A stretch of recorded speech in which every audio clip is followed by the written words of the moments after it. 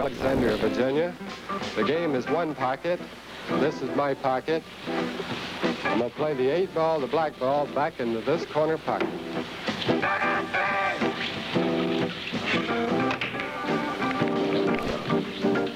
Handsome Danny from Columbus, Ohio. I want to play 10 ball in this corner pocket. I'm Champagne Eddie, Joey Ball, Vegas about Game's 9 ball, go to the left, 9 ball in this corner pocket. Here among the greatest pool sharks in the world. They call me the minnow. Pool thing, understand? You got trouble. You got trouble right here in Johnston City. Watch out, baby. Always my say. I can do the hours I spend with you in my hand cool. I call it sense and cool head and a keen eye. Don't think about it, yourself and three other just as I say. They start to bring maturity score all game. Any boob can take and shove a ball in a pocket. Now, friends, let me tell you what I mean. You got one, two, three, four, five, six. Pockets to take. Pockets mark the difference between a pool player. Well, capital B and a B instead of pool. So that's right, I'm Jim McKay. Subject is, in fact, pool on today's ABC's Wide World of Sports. Specifically, the World All-Around Billiards Championship from Johnston City, Illinois. They usually call it Spanning the globe to bring you the constant variety of sport, the thrill of victory, the agony of defeat.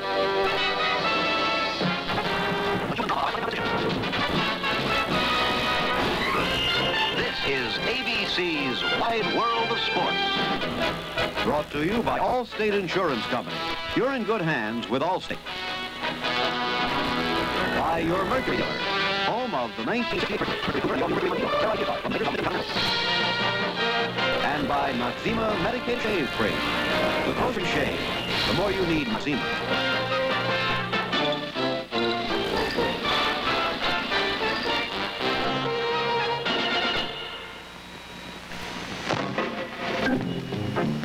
It's just after sunset in Johnston City, Illinois. Today we pay our annual visit to one of the more colorful corners of the wide world of sport, to the Jansco Brothers Bar here in Johnston City. You know, this used to be a pretty tough part of America. Matter of fact, there's a local legend that says that the first bomb ever dropped from an airplane was dro dropped in this area, a Little Egypt they used to call it, during a gang war. Well, times have changed, and the big annual event here now is the World All-Around Pocket Billiards Championship. Quite frankly, it's better known as the Hustlers Tournament because the Pool Hustlers of America come here, well, this year from 31 states, 101 of them in all came almost a month ago. You've had a glimpse of some of them, people like Handsome Danny and Weenie Beenie and Omaha Fat. Haven't seen Superstitious Aloysius so far this year, but I'm sure he's around someplace. They all come and they play against each other in three different games. One pocket, nine ball, and straight pool. They all play until only two are left. Those two are going to play it off tonight for the championship of the Hustlers World. Let's go and meet them.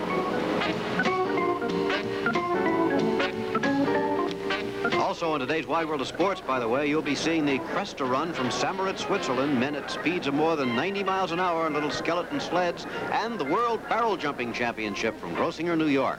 But right now, here are the men. This is Boston Shorty. Larry Johnson is his real name.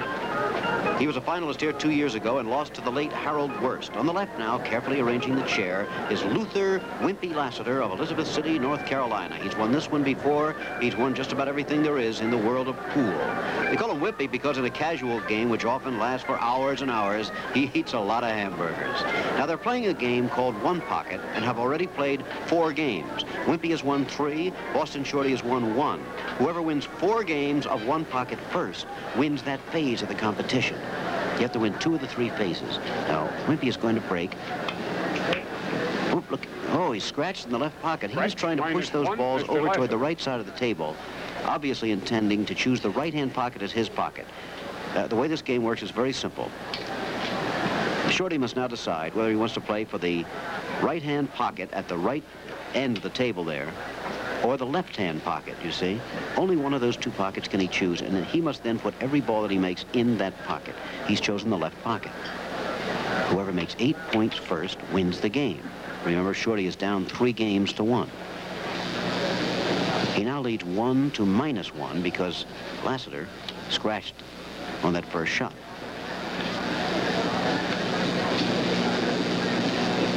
He doesn't have a shot now. It looks like he's just going to try and knock that one away from Lassiter, but it didn't work out too well.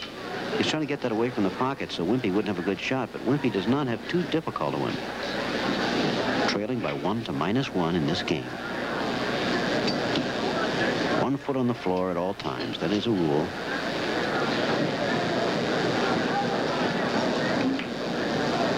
delicately done.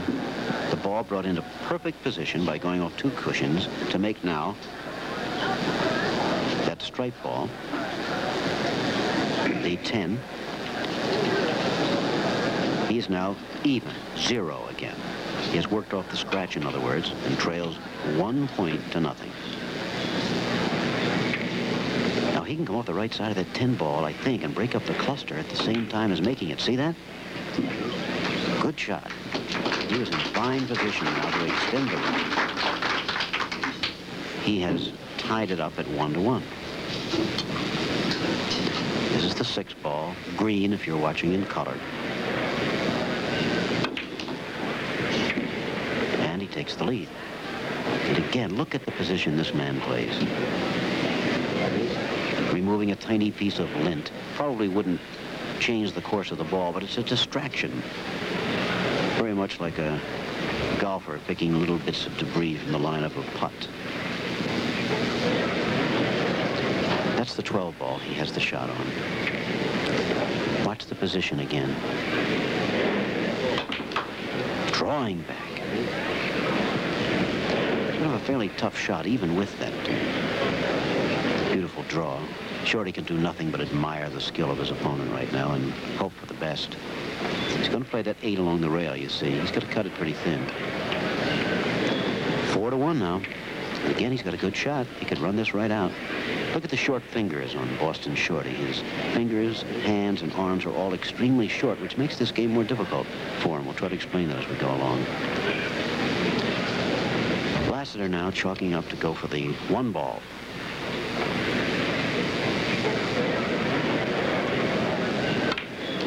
Five to one, three more, and he'll win this phase. They'll go on to straight pool after this, and that's Wimpy's strongest game. He could run this out with just playing two of the phases. After straight pool, they'll play nine ball, but only if necessary.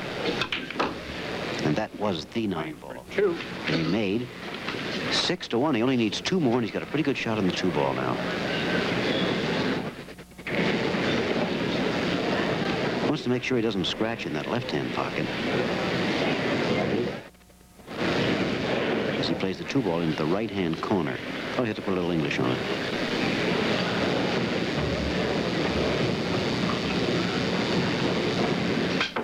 Oh, if you've ever played pool, you've heard that sound before. That was a miscue, and Lassiter scratched into the right-hand pocket just as he was on the verge of victory in this game. A big break for Shorty.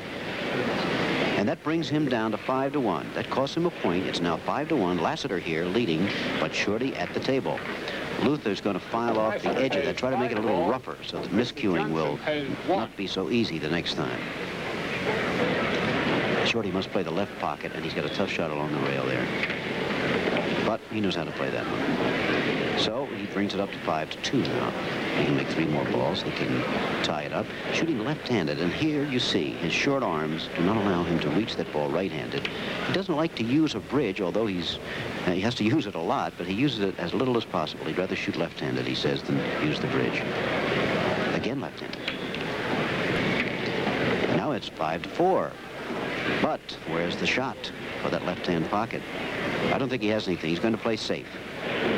As long as the ball hits the cushion there, he has played safe. That is not a scratch. He Mr. trails Lassiter five to five four. It'll be balls. Lassiter's shot, and we'll be back in a minute at Johnston City.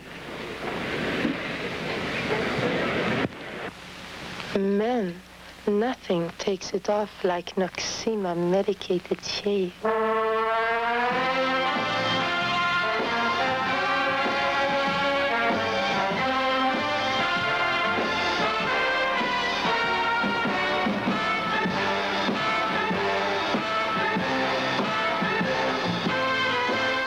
Take it off. Take it all off.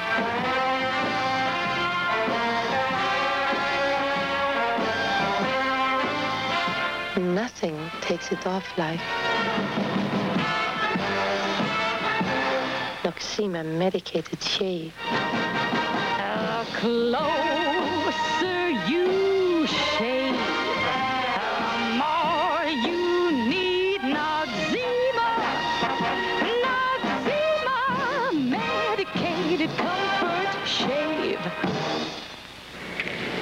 This is Jim McKay, back again in Johnston City, Illinois, where a little battle of safety shots has been going on while we were away. Luther Lassiter leads in this game of one pocket pool by five points to four, and it looks like he's going to play another safety. His pocket is the pocket, pocket right under his cue right now. He's got no shot for that.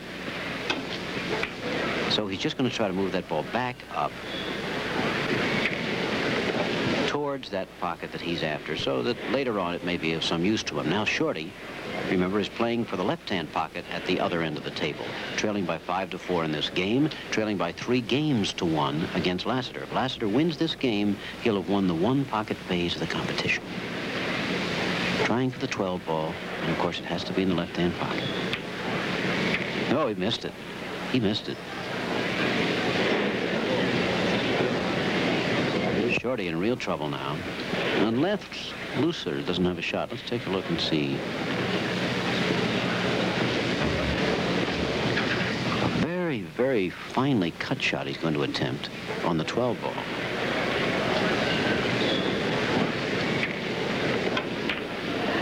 And he's got it. Luther Lassiter going ahead by six to four in this game. But what's he going to do now? This man who plays perfect position almost always was not able to do it that time. Took a quick look at a possible bank shot and has decided now just to try to move this 15 ball back up towards his pocket, or has he? Yeah.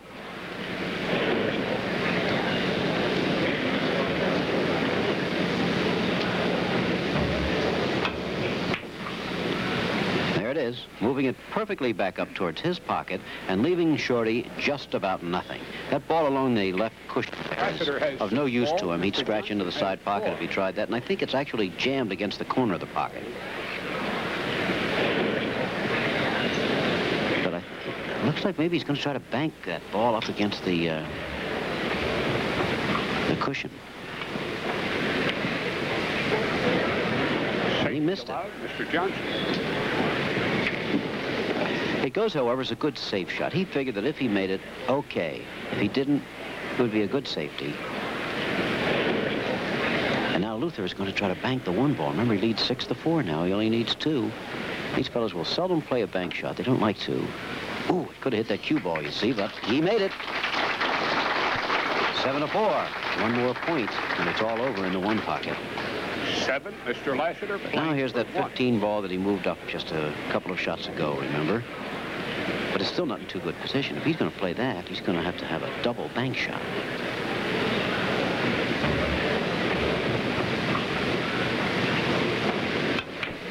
Here comes. It's all over. Wimpy Lassiter has won the one pocket phase of this competition from Boston Shorty by four games to one. It was best out of seven, remember. And next they'll be moving to straight pool after a short intermission here. Right now we're going to move on to an event seen earlier on ABC's Wide World of Sports, the World Barrel Jumping Championships at Grossinger, New York. Our reporter on the scene, Bill Fleming. Today, our ABC color television units are covering the 17th annual World Barrel Jumping Championships. The setting is the famous Grossinger Country Club, located some 100 miles from New York City, and this is the famous ice rink there where these championships are held. Now, you and I might have some trouble just standing up on ice skates, but these fellows today are going to be plummeting through the air at tremendous speeds, and they will attempt to break the world's record, which is 17 barrels, 28 feet, 8 inches. A good crowd on hand in a weekend holiday mood. And the weather, well, it's just about perfect. It's the beginning of a brisk winter season in the beautiful Catskill Mountains of New York State. A fine winter setting, some top competition, and the exciting final rounds coming up in just a moment.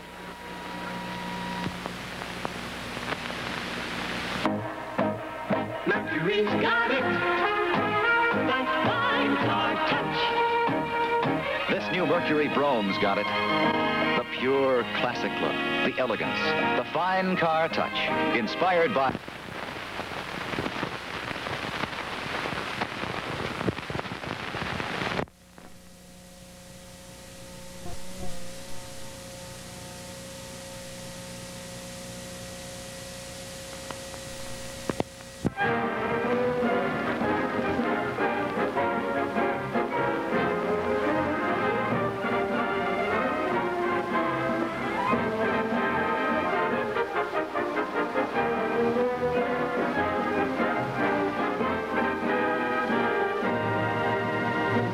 three of the greatest cue men of all times, the tops and table toppers.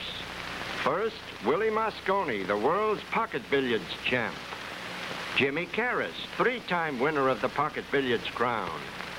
Here, the world's outstanding trick shot artist, Charlie Peterson. And now, a two-directional shot by Mosconi. Using a mighty masse, he'll pocket three object balls. Two balls into the upper right pocket and one ball into the side pocket. Nice. Mosconi will now try to masse his cue ball in a wide semicircle and sink the object ball into the upper left corner pocket without hitting any other ball or any rail until the shot has been completed. Hmm, that's doing it. For stoutish players who want to reduce, Jimmy Caras adds a little road work. He's got to run around the table and get back in time to make the shot. Hurry, hurry, hurry. Yow, he done done it. Maybe he should wear track shoes. Here's another fancy shot by Jimmy. He'll put three object balls into three pockets the hard way. And now, kids, get this. Nice trick if he can do it. And he can.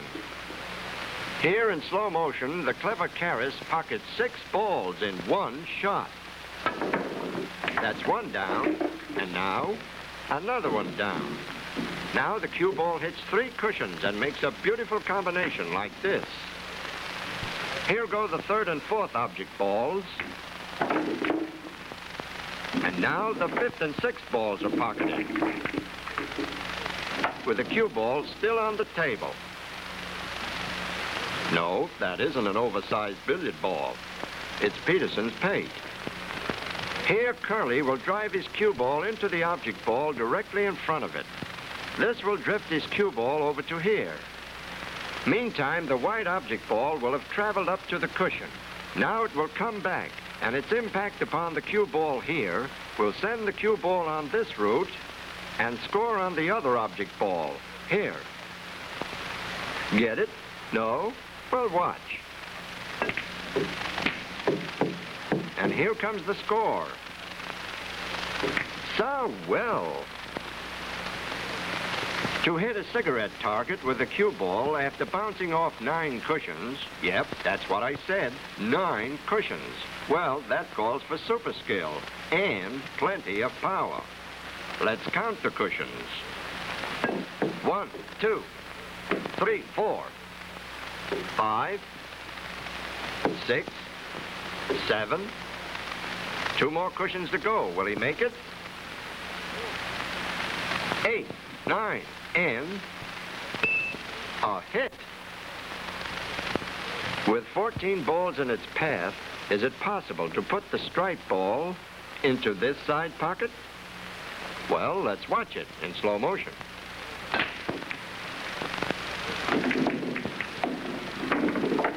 Who did it? Mosconi, the mighty Natch. See the black ball? Jimmy will make that eight ball, leap through the triangular pool rack, vault over that line of four balls, and bury itself in the upper right corner pocket. Oh, Mr. Caras, do you really think you can make it? The man says he can. And here it is in slow motion. Watch the black ball and keep your eyes on it.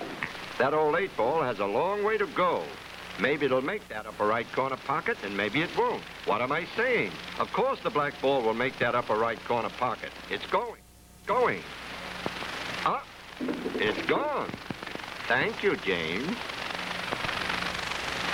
And now a bit of cue wizardry by the master himself, Mosconi the Magnificent. He'll knock the prop from under the stripe ball, hit three cushions, and sink the stripe ball into the left corner pocket. So, one, two, three. Object ball. No scratch. Now watch the stripe ball. In.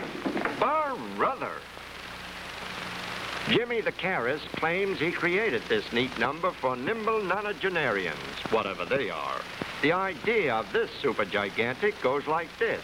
To wit, and Viz, the white cue ball will shoot through that paper target, scoot up the table and hit those two balls, which in turn will hit those two balls, sending all four object balls into two pockets. And leaving the cue ball on the table. Trick shot cue men shout with glee when they bounce a single coin into a single glass. So, Peterson decides to make the trick twice as difficult. Okay, Charles, don't let me down, fella. Alley, up. And nicely done, Curly. Here's a dream shot for the book. Using two cue balls, Mosconi with one shot will pocket all of the five striped balls. Watch carefully. One down, two down. Three. Now the white ball must sink the ball at the pocket and get out of the way of the ball behind it. There. Magnifico. Here there are 17 balls on the table, including the cue ball. Willie will pocket all of them with one shot by driving the center balls in all directions. At least, that's what he hopes to do. Well, let's see. Here we go, in slow motion.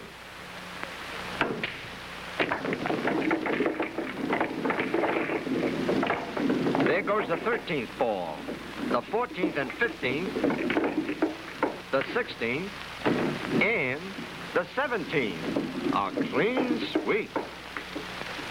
Here's a problem for all you cue artists. Between the white cue ball and that striped object ball, there are seven. How can he sink that striped ball into the foreground pocket without having the cue ball touch any of the seven object balls? Hmm? Here's how. Look out. Why, Jimmy, you're a slicker. Goodbye now.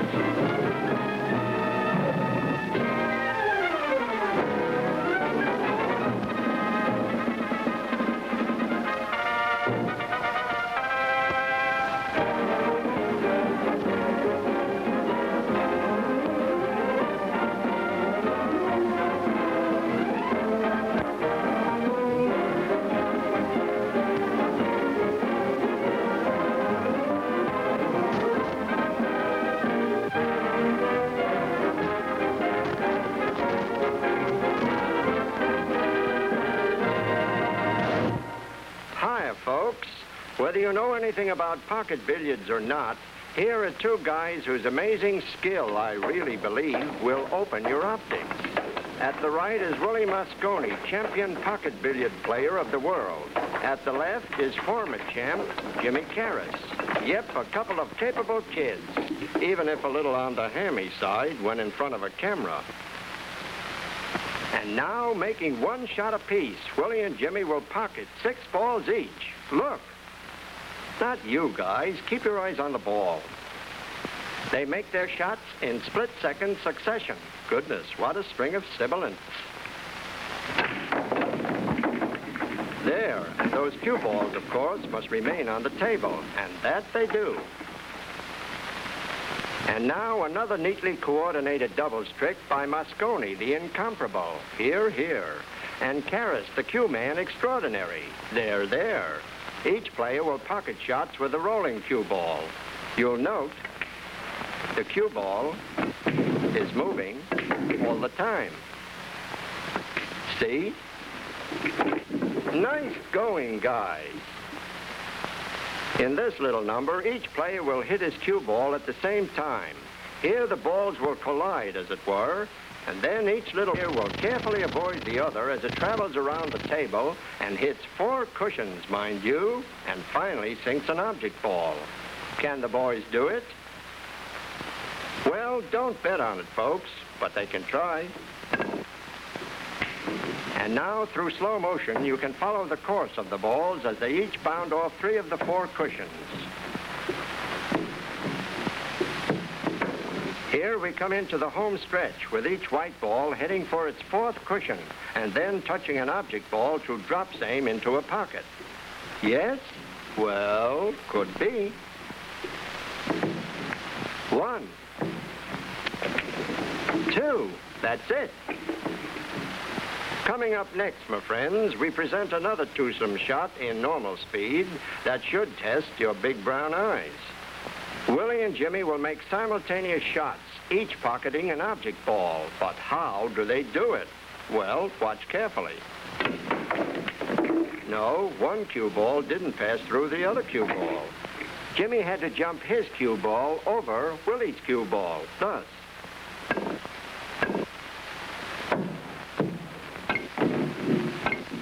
Yow, that's coordination, precision, perfection.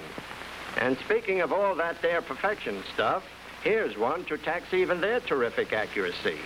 First, they'll shoot their cue balls between those cigarettes, which leave no room for a miscue, be it ever so infinitesimal. Infinitesimal? Smith, how you talk. Anyway, the cue balls will then travel all over the place and pocket two object balls. Go.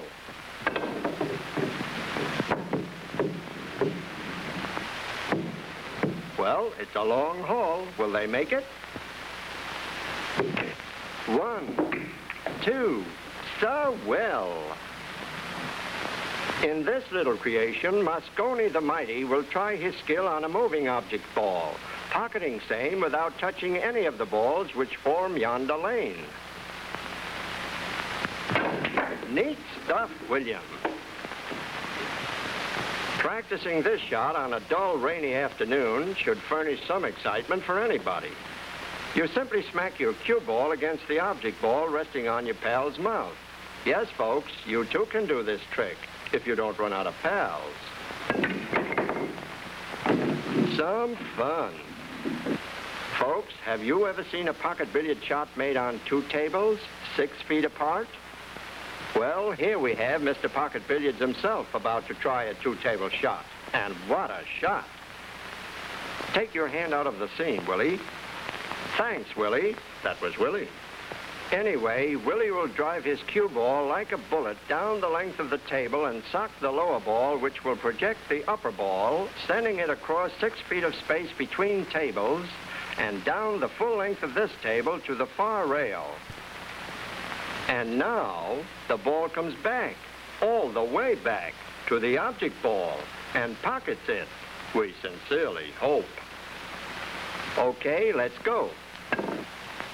Imagine controlling the flight of that ball so it hits within a hair's breadth the exact spot on that rail to bring it back for a direct hit on the object ball and still keep the white ball on the table. Brother, that's one for the book. That same shot in normal camera speed. And remember, folks, from the time the cue ball is hit until the feed is completed, you see the entire shot in one scene. See what I mean? No trick film cutting in this picture. These shots were actually made. While Mosconi gets set for his next two-table shot, we'll mark the course of Jimmy's cue ball here in a tricky quickie. Clever kid, Caras. In the next shot, we use a book of paper matches. This complicated creation, we hope, will prove another two-table sensation by Mosconi, the Magnif. Willie will drive the cue ball down to the matchbook, from whence it will take off and leap nimbly over to the second table and hit two object balls. These two object balls will in turn hit those two object balls, causing all four object balls to go into the pockets. Yep, that's the idea. Okay, again, all in one scene and in slow motion.